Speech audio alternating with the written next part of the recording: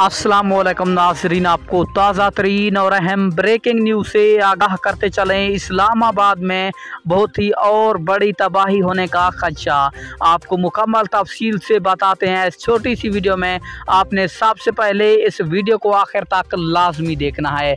इसी के साथ आपने चैनल को सब्सक्राइब करके इस चैनल का हिस्सा बन जाना है, ताकि आपको तमाम तर वीडियोज़ का नोटिफिकेशन सबसे पहले और बासानी मिलता रहे।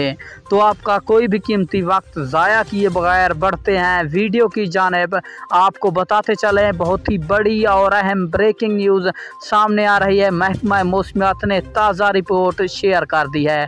आपको बताते चलें, पहले भी इस्लामाबाद बारिश की वजह से सैलाब से दो चार है और अभी भी महकमा मौसमियात ने इस्लामाबाद में मज़ीद बारिशों का खदशा ज़ाहिर कर दिया है। आपको बताते चलें, कल के दिन इस्लामाबाद में मज़ीद बारिश हो सकती है।